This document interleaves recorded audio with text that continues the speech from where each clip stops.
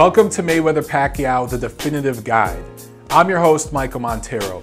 This is a four part weekly series where throughout the month of April, each week progressively, I'm gonna dive deeper into this matchup and give you guys all the information you need to know before the big fight May 2nd. This week's episode is all about numbers, all the numbers related to Mayweather Pacquiao. Before I get started, I want to make one quick note. I've gotten hate from some of you on social media because I went on the record as recently as late January saying that I didn't think this fight was going to happen in 2015. I thought it was going to happen next year after Floyd was out of his CBS Showtime deal. In fact, I even made a video in 2014 talking about it. This is when Floyd was talking to or negotiating with Amir Khan. And you could click on it here. I'll put the link below. Uh, check it out.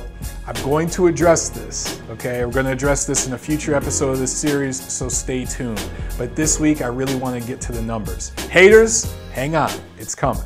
Some people say that punch stats don't matter. Well, I say that they're full of shit. Punch stats don't tell the whole story, but they do give you a glimpse as to who the fighters are in a big matchup like this.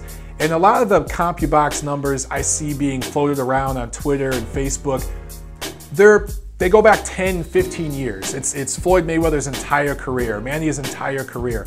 I don't think that's relevant to this fight, okay? So I took the punch numbers from Floyd and Manny's last five fights. I put that together here. I'm gonna blow this up on the full screen for you, but a couple of things I really wanted to address. Uh, a lot of people talk about Manny's power advantage, supposed power advantage in this fight. And a lot of people talk about the fact that he has so much more volume than Floyd and that he can outwork him. I wanted to just bring those points up before we take a look at these punch numbers. So let me go ahead and blow this up to the full screen.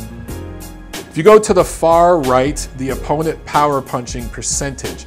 This is the percentage of shots that each opponent landed on Mayweather and Pacquiao.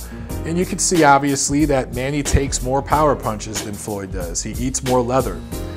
Pacquiao throws more punches. He lands only three more per round though because Floyd is more accurate.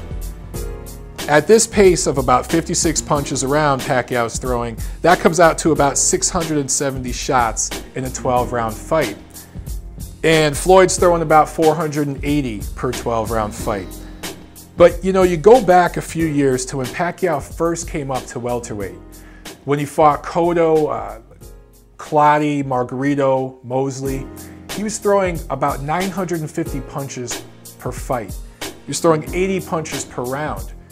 What's the difference between that Manny Pacquiao and this one? Well, Manny's camp has complained about leg cramps, calf problems, foot problems. Maybe there is some legitimacy to those injuries because when you look at these punch numbers, you see a significant drop in volume from Pacquiao in the last few years. Now, when it comes to power, everyone thinks that Manny is the harder puncher. Well, at welterweight, the numbers just don't back that up, guys. Going back to 2005 when Floyd moved up to 147 pounds, from then till now, Floyd has three official knockouts at welterweight. We all know the Victor Ortiz one has a giant asterisk next to it. But if you want to say Floyd has two legit knockdowns or knockouts at welterweight, cool. Now compare that to Pacquiao. He has one stoppage at welterweight, guys, and that was against Miguel Cotto in late 2009 at a catchweight. That was, I, I, believe, 145 pounds. And it wasn't a one punch destructive kind of knockout. It was an accumulation stoppage. I believe it was the 11th or 12th round where the ref stopped the fight.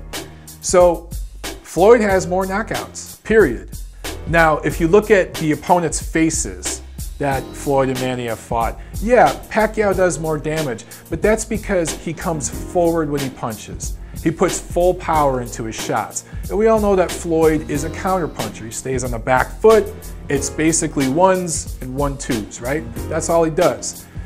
But when Floyd actually sits down and puts his butt into a shot, when he puts his ass into the punch, my position is that he is just as powerful, if not more powerful at welterweight than Pacquiao, and the numbers back that up. Okay, let's talk tale of the tape. Everybody knows Pacquiao's about 5'6", 67 inch reach. Floyd's about 5'8", 72 inch reach. They're only about a year apart. But what a lot of people don't talk about is the different wear and tear these guys have taken. Even though Mayweather's a year older than Pacquiao, Pacquiao went pro a year before Mayweather did. Manny went pro in 95, Floyd went pro in 96. And he's fought, Manny has fought way more consistently over the years. He has 64 pro fights to Mayweather's 47. You guys got to remember between 2008 and 2012, Floyd was kind of semi retired. In that four year span, he only fought three times. And that's when Manny was moving up in weight and killing everybody, right? He's fighting much bigger guys. And even though he was dominating those fights, he was eating a lot of leather in those fights too. You look at the numbers, Manny has taken a lot more punishment than Floyd. He's, in my opinion, a step or two past it. Floyd is maybe half a step past it. And that's going to be the difference in this fight. It's in the numbers. So there you have it, ladies and gentlemen. That concludes this week's episode of Mayweather Pacquiao, the definitive guide. I'm Michael Montero, and I'll see you next week.